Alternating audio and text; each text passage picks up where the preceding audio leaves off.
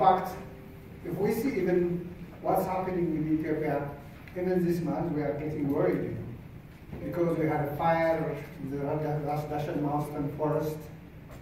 Some of our lakes are drying. In the rainy season, it's sunny.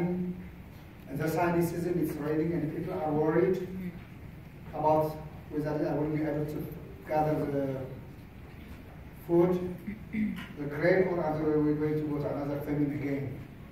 So it's a very important issue. If we don't solve the environmental problem, the disaster is not only a human disaster for one country, it's for everybody.